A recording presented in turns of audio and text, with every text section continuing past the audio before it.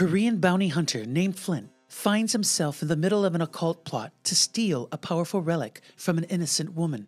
Caught between the desperate sheriff who's becoming unhinged at the worst possible time and the phantom woman haunting his nightmares, Flint will have to make a choice confront the sheriff's posse of misfits or run.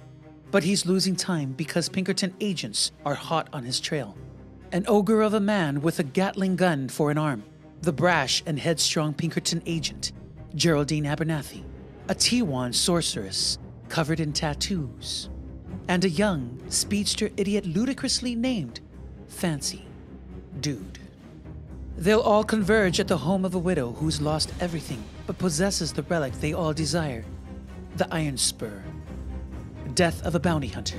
14 different characters voiced by 11 professional voice performers.